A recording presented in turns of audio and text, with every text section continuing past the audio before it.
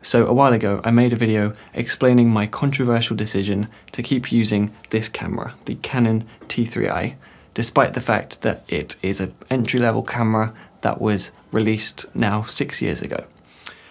And since then, I've used this camera on quite a few projects, for example.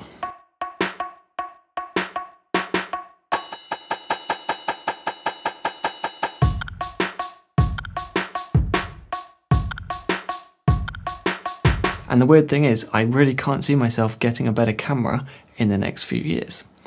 Let me try and explain why. So let's start with expensive cameras. Now in 2014, David Fincher used the Red Epic Dragon to shoot his film Gone Girl.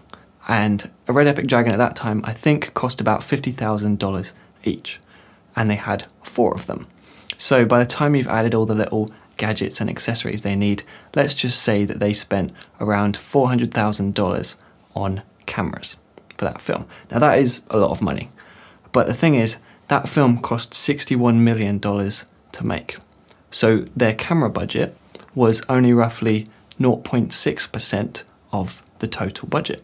So what if low budget indie filmmakers are actually spending a much higher proportion of their budget on cameras?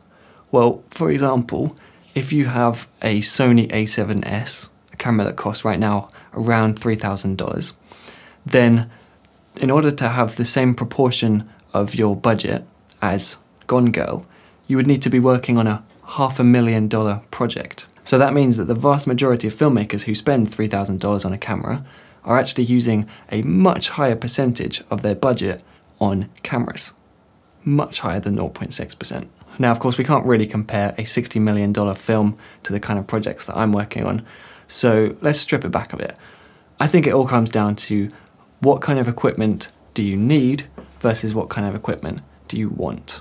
But I've spent a lot of time over the years reading articles about which is the best camera to buy and kind of just getting sucked into all of the hype around new cameras. And I think that is what causes me to want to spend an irrational amount of money on cameras because like I never get that excited about audio equipment, even though that will improve the kind of general quality of the film just as much, if not more, than a new camera. And I also don't get that excited about renting a camera.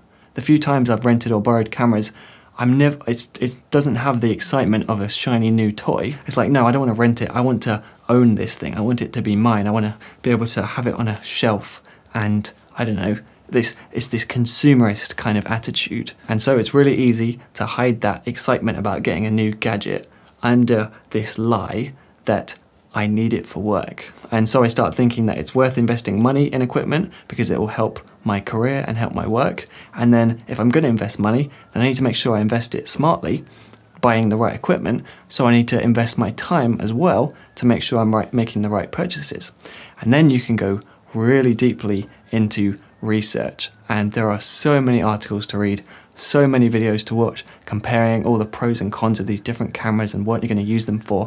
And what I genuinely noticed is that I started caring so much about tiny little insignificant things. And that's the kind of attitude you get where you become a connoisseur of all tech related things, where you know way more than your average audience member will know about the, the specifics of which camera is the best.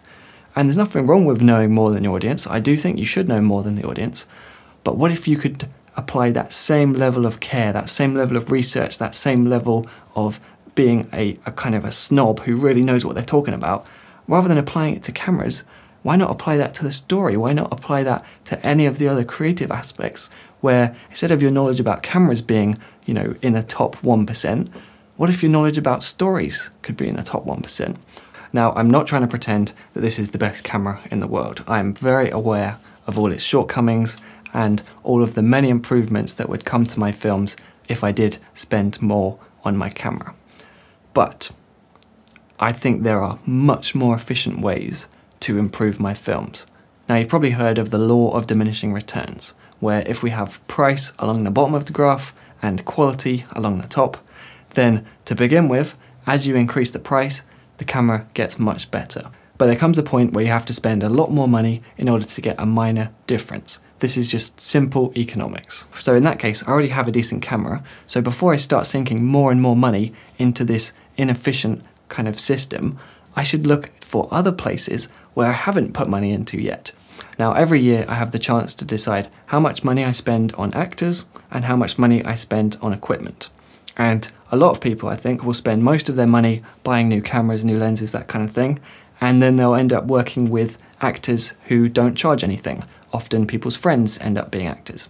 And let's be honest, the quality of free actors slash your friends is not going to be that great. Whereas if we took that money from equipment and put it into the actors, because it's at the bottom of that graph, that little bit of money goes a lot further than the same money would in making your equipment slightly better.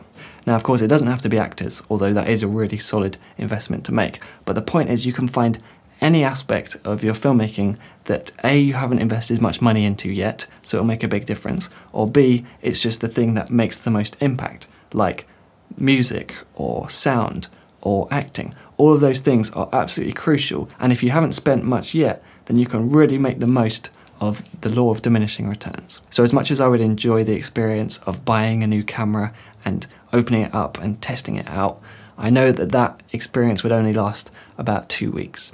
And then after that, it just becomes a tool like anything else. People keep telling me that I need to buy a new camera, I need to be able to shoot in 4K, but I think I'm just gonna stick with this camera and basically invest, when I do invest money, I want to put it into things that make more of a difference. Things like the content. And I've made a t shirt to summarize this. It says, high quality content has nothing to do with pixel resolution. If you'd like a t-shirt, there's a link in the description. Maybe that's the real reason why I've made this video. Who knows? See you next week.